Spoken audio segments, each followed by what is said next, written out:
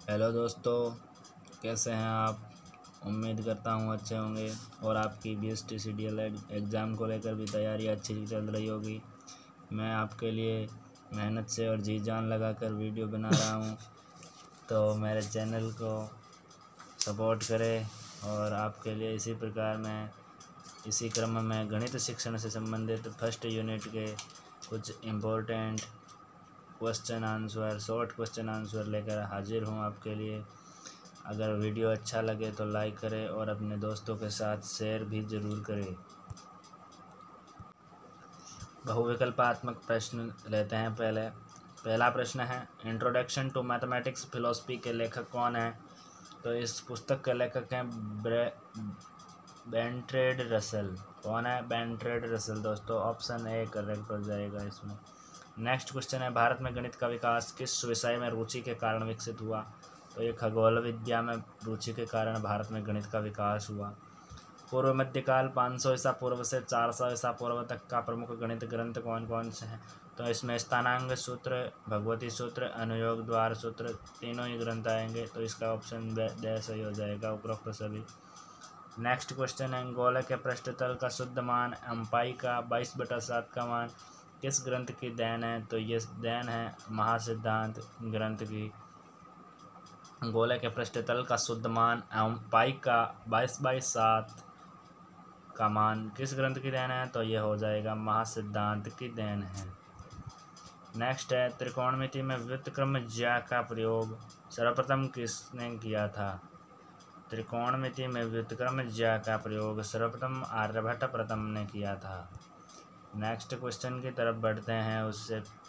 उससे पहले मैं आपको बता देना चाहता हूँ कि आपके लिए एग्ज़ाम में चार से पाँच बहुविकल्पात्मक प्रश्न भी आने की संभावना है। नेक्स्ट क्वेश्चन है, निम्न में से किस सभ्यता में साठ आधारित स्थानीय मान सेक्सो गेसिमल अंक प्रणाली का उपयोग किया गया? तो इसमें हो जाएगा बेबीलोन सभ्यता में साठ आधारित स्थानीय मान अंक प्रणाली का उपयोग किया गया।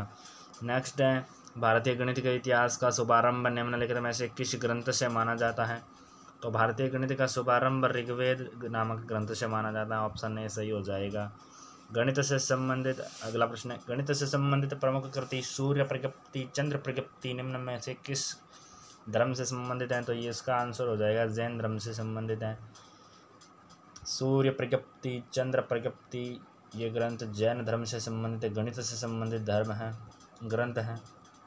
गणित सार संग्रह के रचनाकार कौन थे?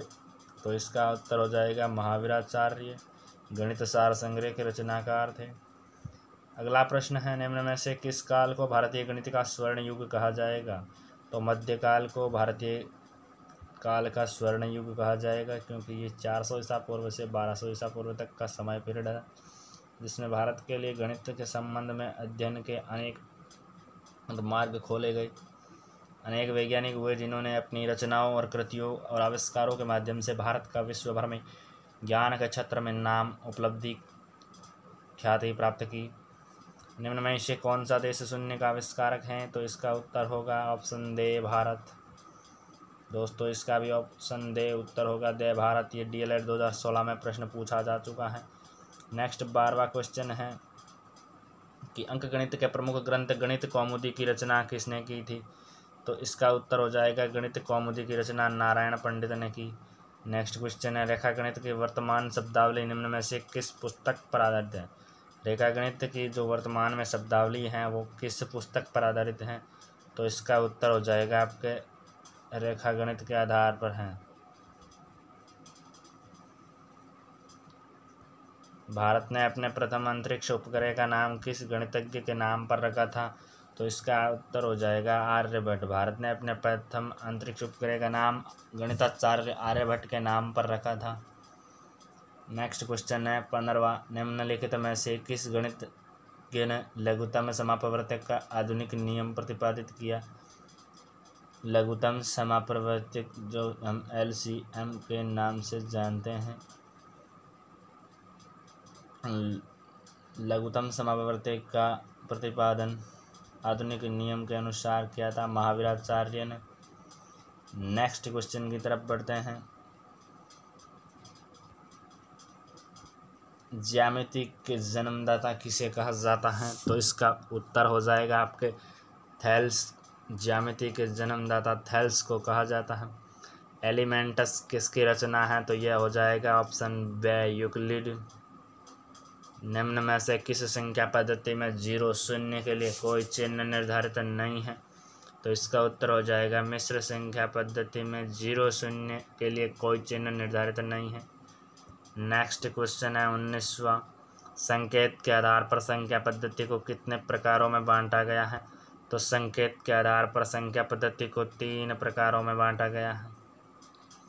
नेक्स्ट क्वेश्चन है, अंतर्राष्ट्रीय स्तर पर मान्य संख्याकन पद्धति है तो इसमें अंतर्राष्ट्रीय स्तर पर मान्य संख्याकन पद्धति है, हिंदू, अरबिक संख्या पद्धति है, रोमन संख्या पद्धति, अंतर्राष्ट्रीय पर नहीं है मिस्र भी नहीं माया भी नहीं ये अपने अपने लोकल में हैं। अपने अपने राष्ट्रीय संख्या पद्धति अपने अपने देशों की। जबकि हिंदू, अरबिक संख्या पद्धति अंतर्राष्ट्रीय स्तर पर मान्य संख्याकन पद्धति है। नेक्स्ट बीसवा क्वेश्चन है, बीस आधार वाली संख्या पद्धति है। तो माया सभ्यता की जो संख्या पद्धति है, उसमें बीस को आधार लिया गया है। बीस आधार वाली संख्या पद्धति है। सिद्धांत शिरोमणि के लेखक कौन है? तो भास्कराचार्य सिद्धांत शिरोमणि के लेखक हैं। अगला प्रश्न, न्यूटन के गुरुत्वाकर्षण सिद्धांत की भास्कराचार्य ने क्या नाम दिया था? तो इसका उत्तर हो जाएगा, धारणिकात्मक शक्ति। न्यूटन ने जिस सिद्धांत को गुरुत्वाकर्षण नाम दिया था, उस सिद्धांत को भास्कराचार्य ने धारणिकात्मक धारणिकात्मक शक्ति का नाम दिया था। नेक्स्ट क्वेश्चन है चौबीसवा, जिसमें गणित ऐसी अमूर्त व्यवस्था का अध्ययन है, जो अमूर्त तत्वों से मिलकर बनी है। इन तत्वों को मूल रूप में परिभाषित किया गया है। उक्त कथन किसका है? तो ये उक्त कथन है, मार्शल एच मास मार्शल एच स्टोन का। नेक्स्ट क्वेश्चन है, किसने गणित को बालकों के मन मस्तिष्क में तर्क करने की आदत स्थापित करने का रास्ता बनाया? किस विद्वान ने गणित को बालकों के मन मस्तिष्क में तर्क करने की आदत स्थापित करने का रास्ता बनाया? तो इसका उत्तर हो जाएगा लोक ने। लोक ने गणित को बालकों के मन मस्तिष्क में तर्क करने की आदत स्थापित करने का रास्ता बनाया है। नेक्स्ट और बहुविकल्पी अंतिम क्वेश्चन है आपका। किसने गणित को सभी विद्वानों का सिंह द्वार अर्थात गेट और कुंजी अर्थात की भी बताया है? तो इसका उत्तर हो जाएगा आपके रोजर बैकन। क्या होगा दोस्तों? Roger Bacon. किस विद्वान ने गणित को सभी विषयों का सिंह द्वार, गेट और कुंजी की बताया है? तो इसका उत्तर हो जाएगा रोजर बैकन। अगला प्रश्न है, गणित विज्ञान है। गणित कैसा विज्ञान है? गणित संख्या का विज्ञान है। गणित गणना का विज्ञान है, स्थान का गण, विज्ञान है। तो इसका उत्तर हो जाएगा, उक्त तीनों का ही गणित विज्ञान है। किसने कहा था, गणित वह विज्ञान है जिसमें आवश्यक निष्कर्ष निकाले जा सकते हैं? तो इसका उत्तर हो जाएगा, बेंजामिन ने कहा था। गणित वह विज्ञान है जिसमें आवश्यक निष्कर्ष निकाले जा सकते हैं। दोस्तों, इसका उत्तर क्या होगा? ऑप्शन बे दोस्तों, इस वीडियो को लाइक करें अगर अच्छा लगा हो और अगर आपके लिए यूज़फुल हो तो अपने दोस्तों के साथ भी शेयर करें, अपने बीस किसी फ्रेंड्स के साथ। नेक्स्ट क्वेश्चन है अपने गणित में आधारभूत संरचना होती है। तो गणित की आधारभूत संरचना कौन कौन सी है? बीज गणितीय संरचना भी है, क्रमिक संरचना भी है और तलरूप संरचना भी है। इसके साथ उत्तर हो जाएगा ऑप्शन दे, उपयुक्त सभी। नेक्स्ट है योग, गुणा तथा सामान्यकरण आदि संक्रियाओं का अध्ययन किस गणित की किस शाखा में करते हैं? तो इसका उत्तर हो जाएगा बीज गणितीय संरचना में हम योग, गुणा तथा सामान्यकरण आदि संक्रियाओं का अध्ययन करते हैं। नेक्स्ट क्वेश्चन है, क्रमिक संरचना में प्रत्यय सम्मिलित है। क्रमिक संरचना में प्रत्यय सम्मिलित है तो इसमें होगा स बड़ा ग्रेटर देन तथा स छोटा लेस देन आदि क्रमिक संरचना में प्रत्यय सम्मिलित है। नेक्स्ट अभी हम अति लघुतरात्मक क्वेश्चन देखेंगे। बहुविकल्पीय प्रश्न यहीं समाप्त होते हैं। पहला क्वेश्चन है तिलगुत्रात्मक में किस सुबिटाइजेशन किससे कहेंगे? बिना गणना के मात्रा में परिवर्तन को, पहचानने की योग्यता को सुबिटाइजेशन कहते हैं। क्या दोस्तों? बिना गणना के मात्रा में परिवर्तन को पहचानने की एबिलिटी को सुबिटाइजेशन कहते हैं। अगला प्रश्न है, गणना के लिए क्विप नोट गणना के लिए क्विप नोट का इस्तेमाल कहाँ किया जाता है? तो दक्षिणी अमेरिका, साउथ अमेरिका के इंका साम्राज्य के क्विप नोट का इस्तेमाल गणना के लिए किया जाता है। अगला प्रश्न है, अपने शरीर के अंगों का इस्तेमाल संख्या के प्रतीक के रूप में कौन किया करते थे? तो इसका उत्तर हो जाएगा, अपने ऑस्ट्रेलिया के नज़दीक, पापुआ न्यूगिनी के रहने वाले लोग। अपने शरीर के सताईस अंगों का इस्तेमाल संख्या के प्रतीकों के रूप में करते थे। वे शरीर के हिस्सों के नाम का इस्तेमाल संख्या नाम के लिए करते थे। नेक्स्ट अगला चौथा क्वेश्चन है इसमें, अंग्रेज़ी एवं हिंदी में संख्या नाम के प्रयोग में क्या अंतर है? तो इसमें उत्तर लिखेंगे, अंग्रेज़ी में ट्वेल्व बारह तक प्रत्येक संख्या के लिए एक नया शब्द है। और उसके बाद हम उन्हीं संख्याओं को दोहराते जाते हैं, जबकि हिंदी में दस तक की संख्या को उतारने के लिए प्रत्येक संख्या के लिए नया शब्द है। इसके बाद प्रत्येक शब्द का संधि विच्छेद करने पर एक से नौ तक के नाम और दस का समावेश मिलता है। तो दोस्तों, इंग्लिश में बारह तक ट्वेल्व तक हमको नए नए शब्द यूज़ करने हैं। उसके बाद एक नया शब्द अन्य शब्दों से मिलकर ही बनता है। एक से नौ दस तक के। जबकि हिंदी में क्या होता है? हिंदी में हमें एक से लेकर दस तक की संख्याओं को तो अलग अलग नामों से लिखना होता है। जबकि आगे के शब्द संधि विच्छेद करने पर इन्हीं शब्दों से मिलकर बने होते हैं, पाए जाते हैं। बेबीलोन सभ्यता की साठ आधारित स्थानीय मान सेक्सा गैसीमल सेक्सा गैसीमल गैसीमल अंक प्रणाली में मध्यवर्ती आधार क्या था? तो बेबीलोन सभ्यता की साठ आधारित स्थानीय मान सेक्सो गैसीमल अंक प्रणाली मध्यवर्ती आधार दस था। इसका मध्यवर्ती आधार क्या था? अगला प्रश्न है, माया सभ्यता में संख्या उन्नीस को कैसे लिखा जाता है? तो आप देख सकते हो कि माया सभ्यता में संख्या उन्नीस को निम्न प्रकार लिखते हैं।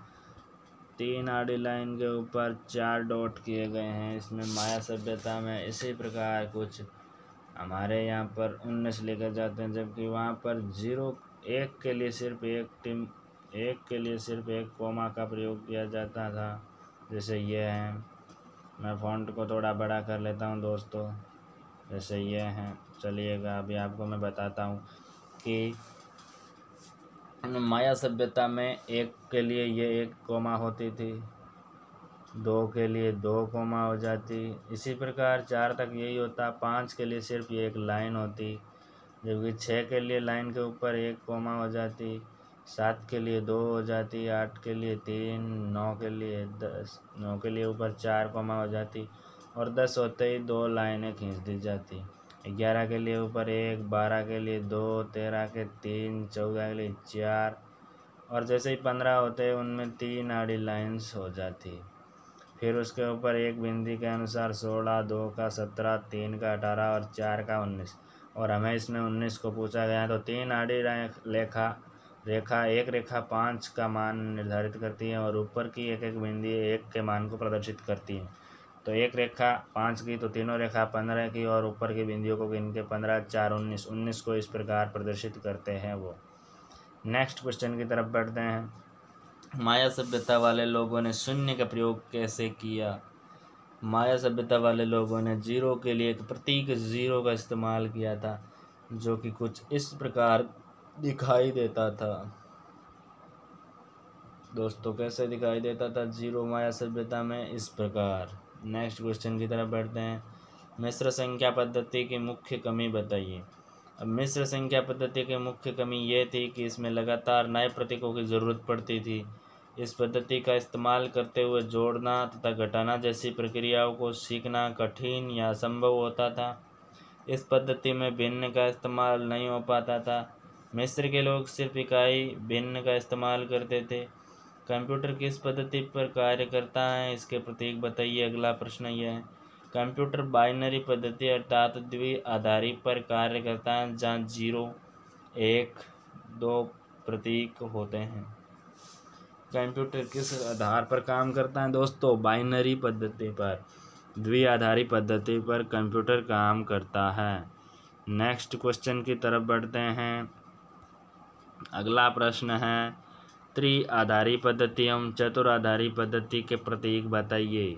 तो त्रि आधारी पद्धति के तीन प्रतीक हैं, ज़ीरो, एक, दो, तीन होते हैं, तथा तो चतुराधारी पद्धति के चार प्रतीक, ज़ीरो, एक, दो, तीन होते हैं।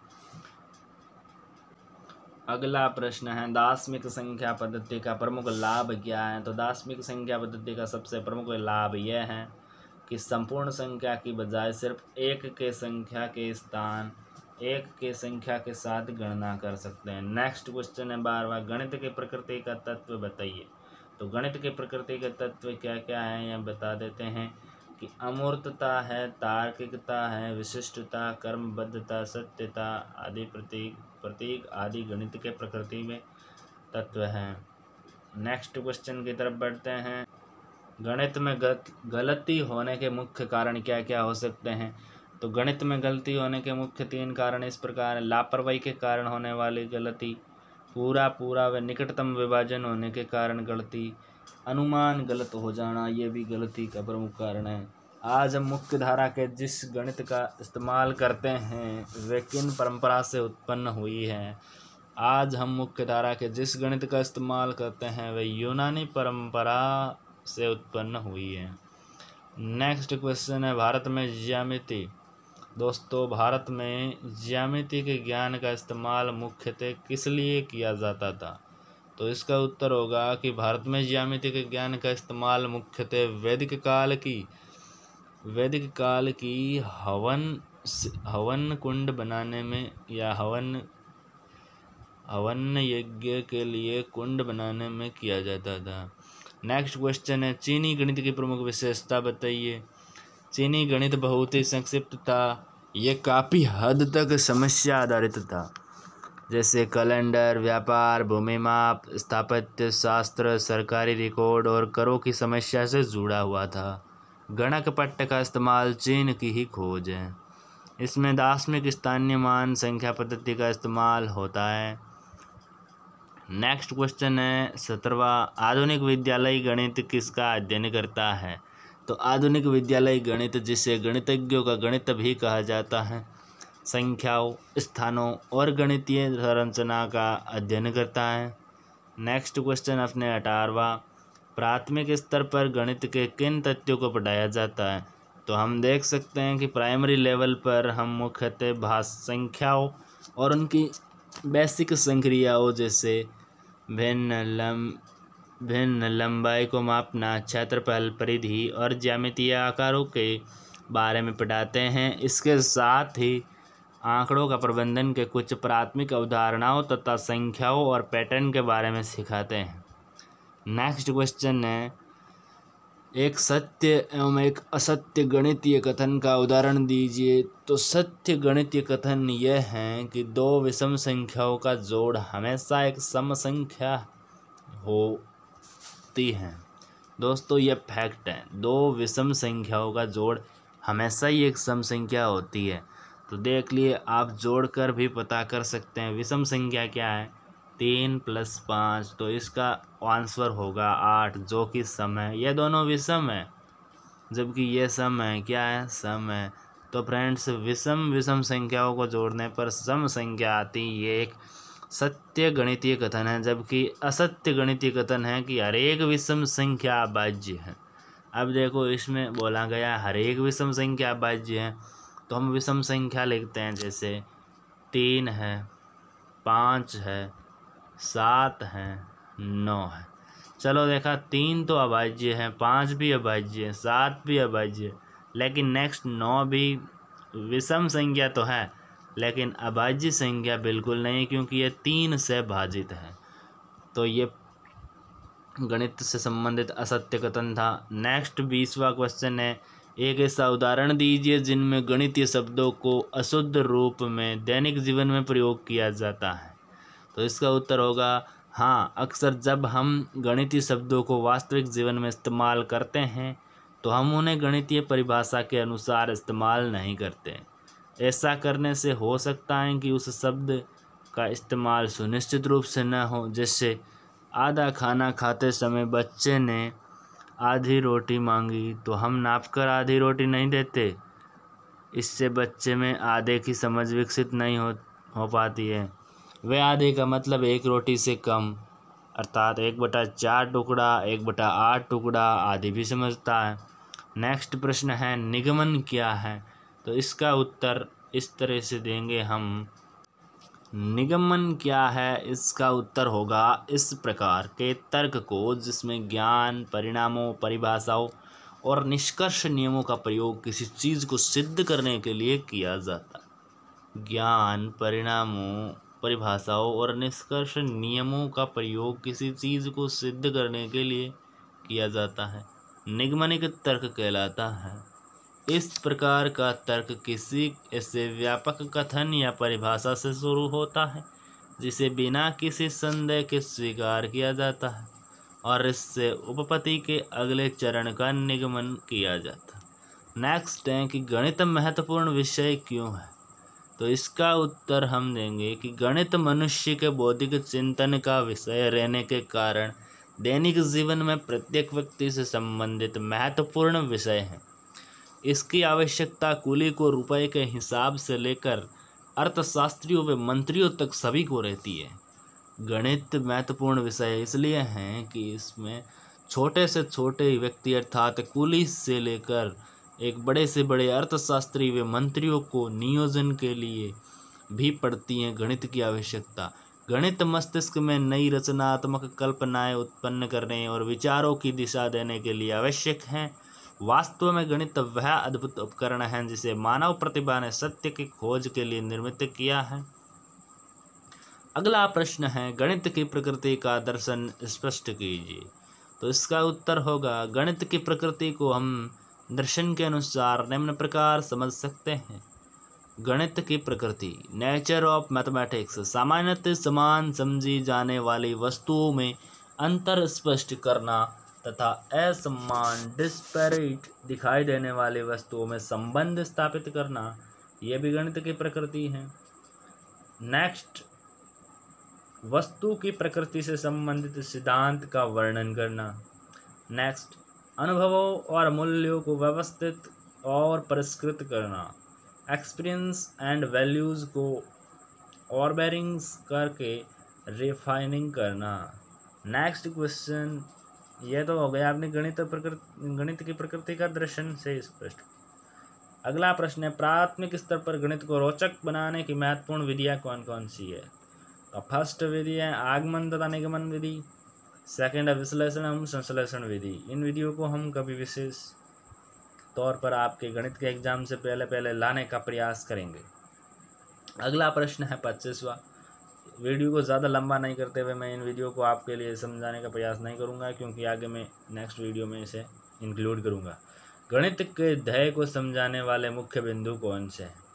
गणित के ध्यय को समझाने वाले मुख्य बिंदु निम्न हैं। मानसिक व बौद्धिक विकास करने का ध्यय है। सांस्कृतिक ध्येय है, जीविकोपार्जन तथा व्यावसायिक ध्येय है, अवकाश का सदुपयोग है। प्राय बच्चे गणित से डरते क्यों हैं? अगला प्रश्न इस तरह है। गणित का शिक्षक माता पिता बड़े भाई बहन आदि बच्चे को गणित सिखाते समय गलती होने पर आँख दिखाए, उसे मारे तो बच्चा पहले अपने गणित सिखाने वाले से डरने लगता है। बाद में गणित विषय से भी उसे डर लगता है। तथा गणित पढ़ना नहीं चाहता बच्चा। गणित पढ़ाने वाले शिक्षकों को बच्चे गणित सीखने में रुचि ले, इसके लिए उन्हें खेल खेल में गणित सिखाना चाहिए। शिक्षकों माता पिता भाई बहन की भाषा सरल व स्पष्ट न होने पर भी बच्चे को गणित सीखने में दिक्कतें पैदा होती है। तो बच्चा जब जब गणित सीखने में दिक्कतों का सामना करता है, डांट फटकार पाता है, अपने आप को अपे, अपेक्ष अपेक्षकृत पाता है या अपने आप को अपमानित तो समझता है, तब उसमें गणित के प्रति डर, भय पैदा हो जाता है। तो आप अपने भावी जीवन में छात्राध्यापक के रूप में जब भी गणित पढ़ाओ तो बच्चे को डराने की बजाय उसे समझाइए, उसे मार्गदर्शित कीजिए। गलत होने पर भी डांटिएगा मत, बल्कि उसका हौसला बढ़ाइएगा। मैं आपके लिए ये वीडियो अभी एंड करने वाला हूँ, क्योंकि समय बहुत ज़्यादा हो गया। वीडियो को मैं लंबा नहीं करूँगा। अगर आपको वीडियो पसंद आए तो वीडियो को लाइक करें और इसी तरह के वीडियो पाते रहने के लिए हमारे चैनल एन जे मोटिव्स को सब्सक्राइब करें और अपने किसी दोस्त की भी हेल्प करने के लिए इस वीडियो को उन तक पहुँचाए। मैं आपको बता देता हूँ, ज्ञान बांटना हर एक के बस की बात नहीं है। अगर आप भी अपने दोस्तों के लिए ज्ञान का फ्री ज्ञान का कोर्स अवेलेबल करवाते हैं बी का तो उनके लिए ये यूज़फुल कंटेंट बहुत ही मददगार साबित होगा। गणित के एग्ज़ाम से पहले पहले उनके लिए ये कंटेंट आप उनको शेयर ज़रूर करें। वीडियो देखने के लिए धन्यवाद। इसी तरह सपोर्ट करते रहिएगा। Thanks for watching Vande Mataram. Jai Hind.